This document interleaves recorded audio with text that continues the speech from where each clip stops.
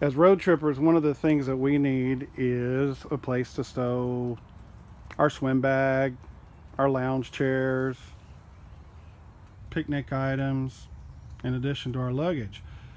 And so looking at the 2016 Ford Explorer Platinum, we see that it's got a wonderful feature, especially if you're a family with kids, it's got a third row.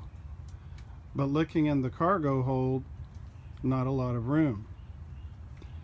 This may very well be one of the coolest features that the Ford Explorer Platinum has to offer. Watch this. Press stow.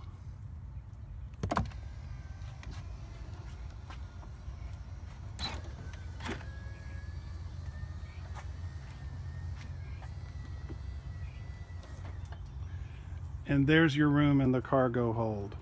And it's so cool. I just got to show you in reverse. Press normal.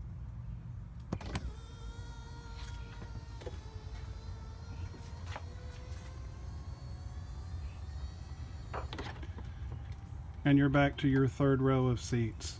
So simple, so easy, one of the best features on the 2016 Ford Explorer Platinum.